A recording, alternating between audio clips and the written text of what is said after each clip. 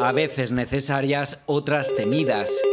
Y si aparece este mensaje, hay una alta probabilidad de que estemos ante una llamada spam. No me interesa. Cuando me llama alguien que no quiero, bloqueo y punto. Y el momento en el que te pillan, ¿no? el trabajo o tu vida particular. Es que es una pesadilla todos los días. Están de enhorabuena porque a partir de hoy una nueva normativa las prohíbe. Compañías telefónicas, energéticas o bancos lo van a tener más difícil.